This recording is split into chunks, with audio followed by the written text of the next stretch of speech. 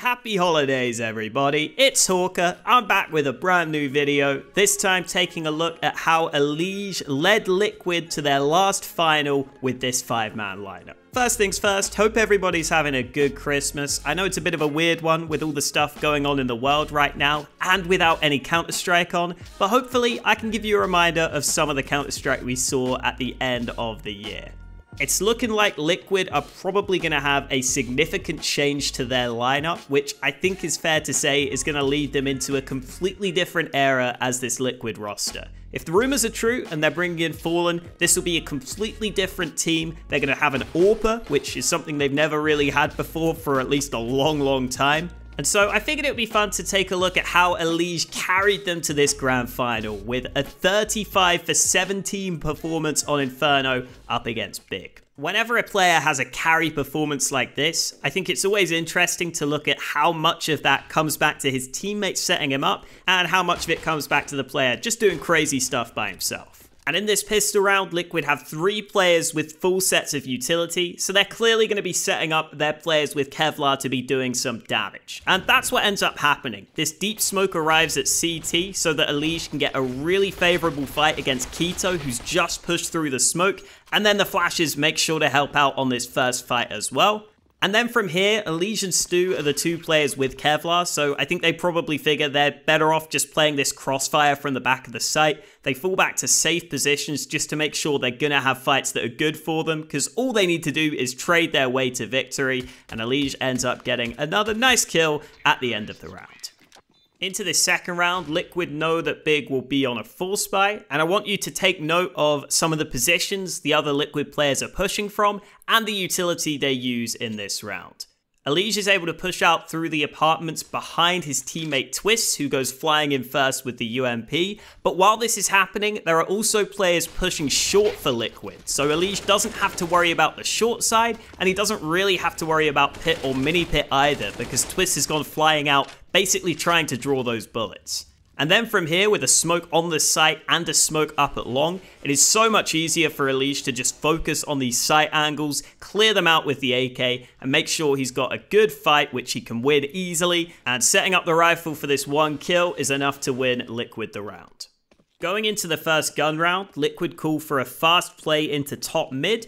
I really love calling these fast aggressive rounds in the first gun round. If these work, they can really shake your opponents, and if they don't, you always have money in the bank, so I already love the call.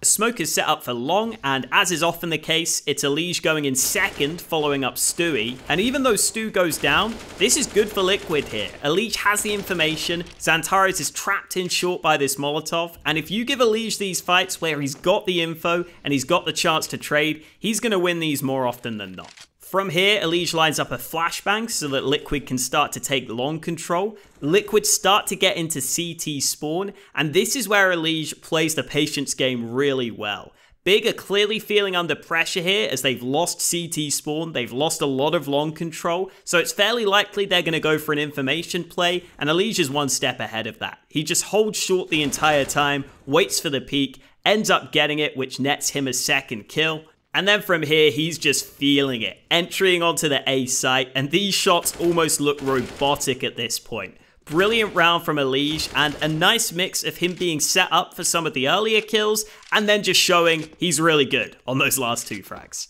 One of the great things about having Elige as your star player is that he is one of those star players who is well and truly a big Counter-Strike nerd. And I mean that in the best possible way, because it means he can set up his teammates as well. He's putting in the time to learn the nades and the other roles on the team, and I think that really shines through in this round, where Liquid's plan A clearly goes wrong. They can't start to go up through A long too easily. The time is running low, so they have to go back to short, and this is where Elige has a very simple but effective flashbang lined up for his teammates. He ends up getting two flash assists off the back of this, and I know this doesn't look crazy, I know it doesn't look amazing, but just the fact that this flash is so well placed that it blinds both big players is a really nice on the fly call by Elige, and I'm sure it's something that might seem standard to a lot of you guys, but the fact that he's able to quickly do this under pressure is definitely a good sign. And it shows that he got 35 kills, but he was also setting up his teammates in this game, which is great. There were actually quite a few rounds where Elige was the first man in on the actual push to the bomb site itself. Sometimes due to his teammates dying early, sometimes due to him just being in the best position to take early fights, but for the most part these rounds weren't too successful for Elige. Although there were also some examples of this working out really well, like here in round 10 where he pre-fires this corner on Banana and then gets another nice easy entry up Banana against Big who are on pistols in this round. But the bulk of Elige's T-side success came from those earlier rounds where he was normally the second man in. He got 10 kills in the first 4 rounds alone and ended the half 15 for 9. He doesn't waste any time heading into the CT side of things though. Into the pistol, Liquid throwing some aggression into second mid with a peek through both apartments and the floor, and that helps set up Elige for a nice shot to begin with. From here, Elige focuses on mid just to make sure that Big are actually going into the B site, and then Elige is tasked with flanking through Banana, and at this point, it all just comes down to individual ability to win this fight. And the timing on this fight against k1to may be favorable for him, but this is still a stunning shot to land very quickly, and this is the key kill that really opens up the retake. Now that Liquid have Banana, retaking the B site is infinitely easier, and Elige goes on to prove that as he cleans up the final two kills and wins Liquid the all-important CT pistol largely just off of his own individual play. Unfortunately, Elige winning his team the pistol round wouldn't be enough for them to go on to win the next one though. So they'd be on a force buy here in round 19 and okay Elige, that's a pretty sick shot to start things off. Then from here, he gets locked into top mid by this Molotov, but he's able to fight with his teammate. Body shots at this range with the Deagle are really strong, so that's all is going for. And he may only get one kill, but the fact that he gets away with his life is huge here for Liquid. This helps buy time for the rotate, and then I also love how Elige decides not to go into pit here, where it's fairly likely he might just get naded, being low on health. Instead, he plays a closer, less expected angle, and he spots k1to, but gets really unfortunate not to get this kill here. However, he's done enough. He's bought time for his teammates to get into position, and they do go on to win this round. Elige actually managed to get most of his kills on the CT side, which is not always easy to do. You normally have to know how to change up your position to be able to do that, otherwise teams are just likely going to avoid you, and Elige does that really well in this game. In this round, he shows versatility with his nade set as he throws the early utility to help his teammates on B, even though he's normally an A player. He ends up getting a kill with this nade at the middle of Banana as he has to come back to help his teammate. And then he goes over to Long, unfortunately only gets one kill on the hold, but the main takeaway here is just how Elige is able to play any spot on the map, and because Liquid don't have a primary AWPer, he can be the man to oftentimes roam around the map, pick his spot, and you really get to see this shine through as he goes 20 for 8 on this CT side.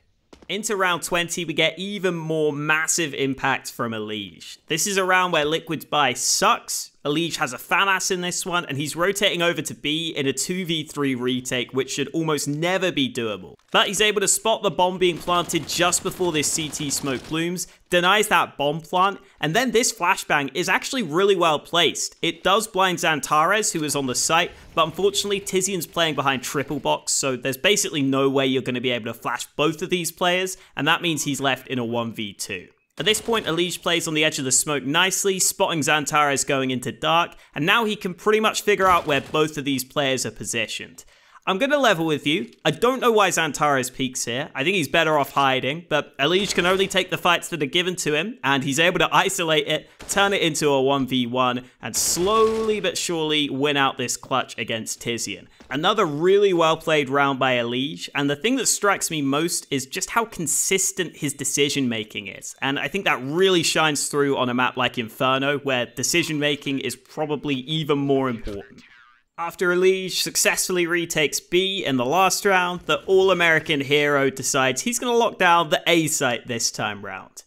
With the time ticking and Elige's teammates having pushed Banana, he knows that this has to be an A play, but once his teammate dies in Library, he's in a really tough spot here, being exposed from all possible angles. Somehow Elige makes it possible though. He realizes he has to play proactive and switch up his position so he's not exposed from all these angles, and he just about manages to do that by dropping off this box so he's not as exposed from long. That allows him to win this fight against tabseN, who probably should hit at least one shot here, but hey, sometimes fortune favors the bold and then he cleans it up with the second shot as well. Another position which looked like Elige should be just screwed in, but he somehow turns it into a win.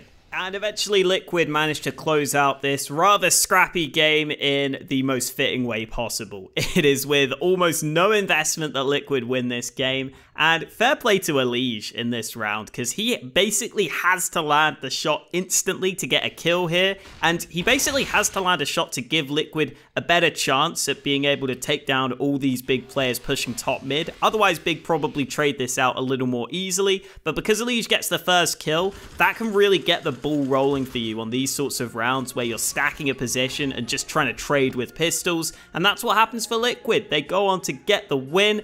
Elige is definitely someone we will be watching out for in 2021. I hope Liquid can put together a good roster to continue to compete because he deserves it.